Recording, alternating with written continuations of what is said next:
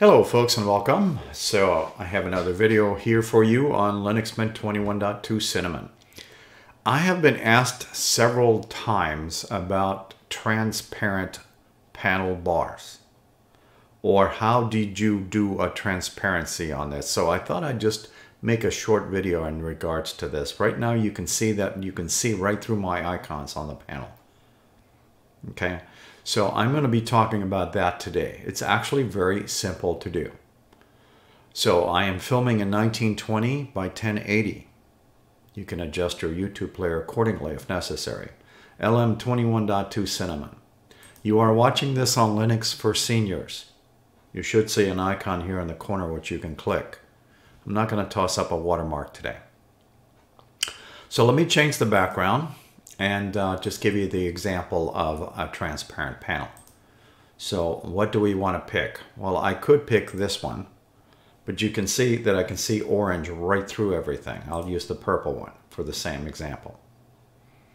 Or I can uh, maybe make a picture here. Now you can see everything right through the panel. Okay, so I'll switch to black or somewhere in between. How's that? And you can take a peek at that streak right here. It goes right behind that icon and comes out the back. So right click on your uh, system settings. Either go through here or click in your Mint menu, however you get here, and open up system settings. What you want is extensions. This is the one I'm currently using. You get it from downloads. So anytime you uh, download an extension, you basically look for that arrow key, click it, it becomes a check mark and all you got to do is turn it on and off. That's the standard panel bar. And that's with this option of fully transparent.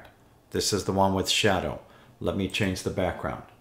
So to give you a better perspective, what do I want to use? I will use um, maybe the blue. Okay, now you can see water right through it.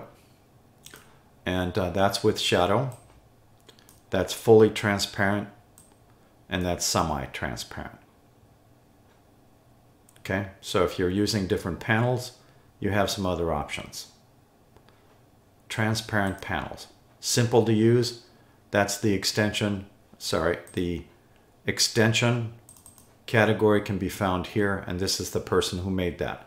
If you're not too clear on this thing, you can hit the light bulb you go directly over to Cinnamon Spices and read all about this particular transparent panel.